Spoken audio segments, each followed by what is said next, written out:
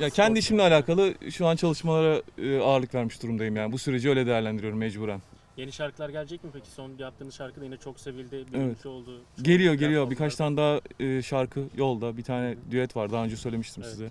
Bir tane kendi bir şarkı hazırlıyorum kendim. E, onun da e, yakında haberini veririm Hı hı. sizlere. Çalışıyoruz yani. Oyunculuğa ara verdiniz diyebiliriz değil mi? Tekrardan birazcık daha müziğe yönelmeyi tercih ettiniz sanırım bu dönemde.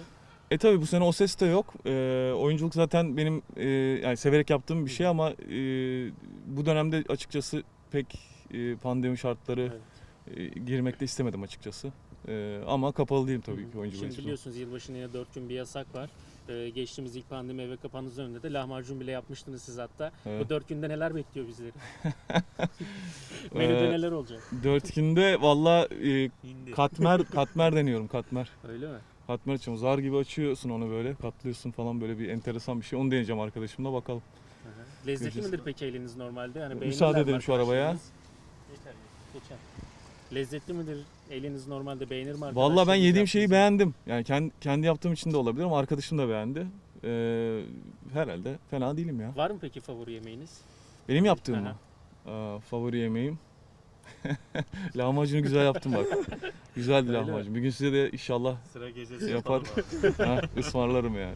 Peki Tamamdır. abi bu yılbaşında konser oluyor sosyal medyada. Sizin böyle bir düşünceniz Yok var öyle mı? bir düşüncem yok. Şu an için öyle bir şey yok. Dört güne Ya ben e, normal canlı canlı insanlarla temas etmeyi özledim. E, o daha değerli oluyor yani birebir e, göz göze seyirciyle kontak halinde olmak her zaman bir sanatçı için, şarkıcı için çok daha değerli ve kıymetli. E, pandeminin sağlıklı saatle e, bitmesini diliyorum. Sonunda da seyircimizle buluşacağız inşallah. Herkese bu hastalığı çekenlere de geçmiş olsun diyelim. Allah sağlık versin.